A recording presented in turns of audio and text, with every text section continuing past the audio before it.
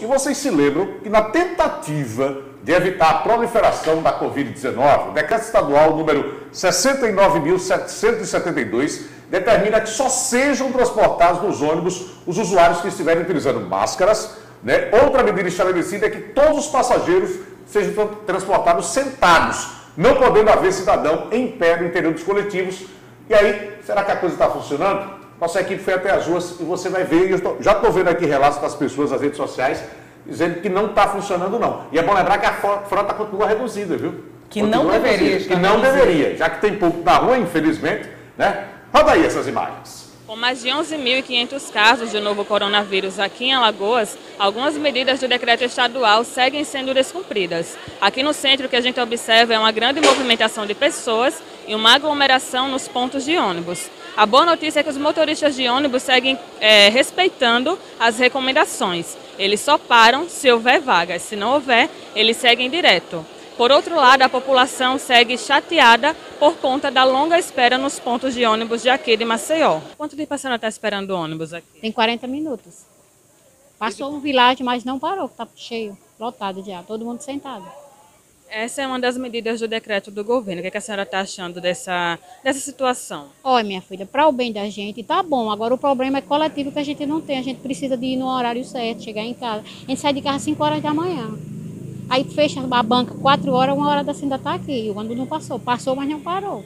E toda vez que a senhora decide sair de casa, pegar ônibus, é a mesma situação? Eles param quando o ônibus enche ou as pessoas costumam ir em pé também em alguns casos? Não, vai em pé não, porque eu pego no terminal. Aí Chego, já está saindo um, não vai mais. Aí eu fico pro próximo. E assim é uma hora, uma hora e meia que demora.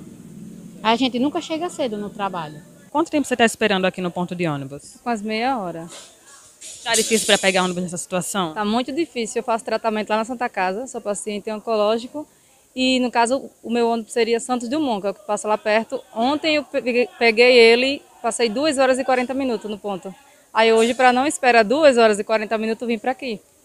E agora o ônibus passou e só tinha três vagas. E acabou que a senhora perdeu essa vaga. Isso mesmo.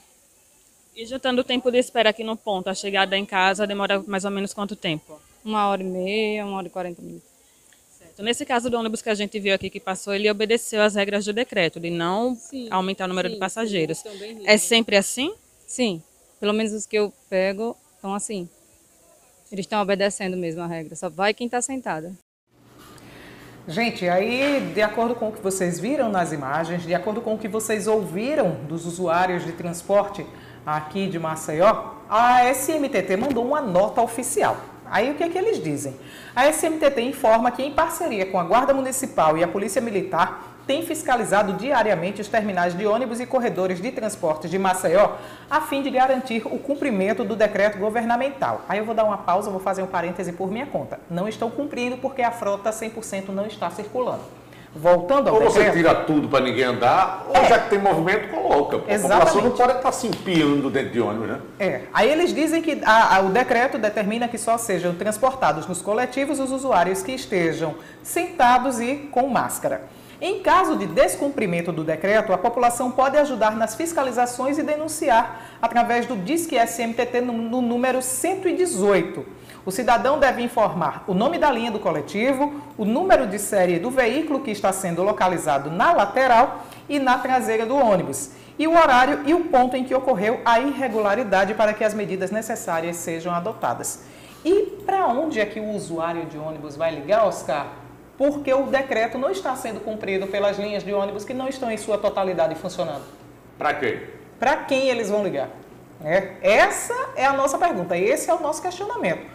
Porque todo mundo sentado, tem gente reclamando, está mais de duas horas para chegar em casa, é complicado porque tem que cumprir o decreto? Ótimo.